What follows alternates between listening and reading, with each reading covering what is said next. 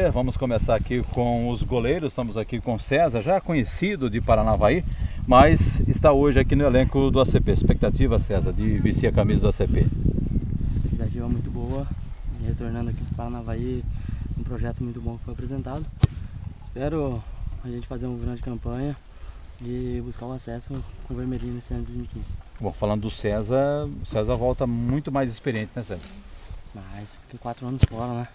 Que naquela época, quando na minha primeira passagem para o Paranavaí foi em 2011, tinha 17 anos, eu já estou com 21, 22.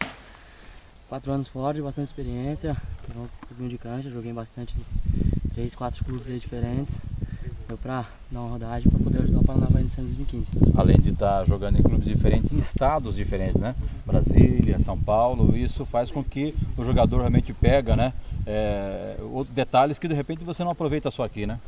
A gente pega detalhes de cada competição, né? Cada competição é um nível diferente, cada competição tem jogadores de estilos diferentes.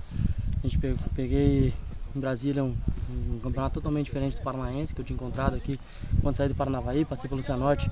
Era a mesma base, mas vamos, joguei a Série D também, campeonato diferente, jogadores diferentes. Depois fui para Brasília, um campeonato totalmente diferente, totalmente outro clima, outro, outra visão de jogo. Depois em São Paulo, um campeonato muito mais forte, um torneio de mais competitividade, de grandes, de boas equipes, de equipes de porte de nível nacional, de nível de Série A. Fizemos boas campanhas, espero repetir aqui no ano de 2015 também. Dá para falar dessa briga aí entre vocês aí ou é cedo ainda?